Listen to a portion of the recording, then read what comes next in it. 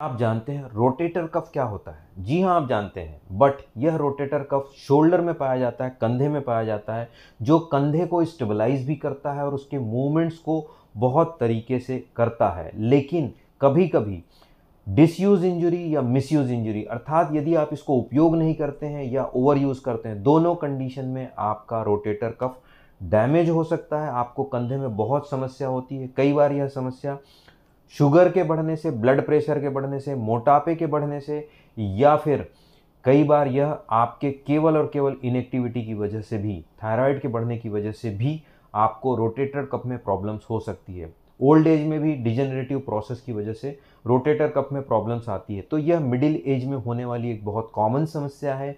कंधे में जब भी हल्का दर्द हो, आप तीन या पाँच दिन तक इंतज़ार करें।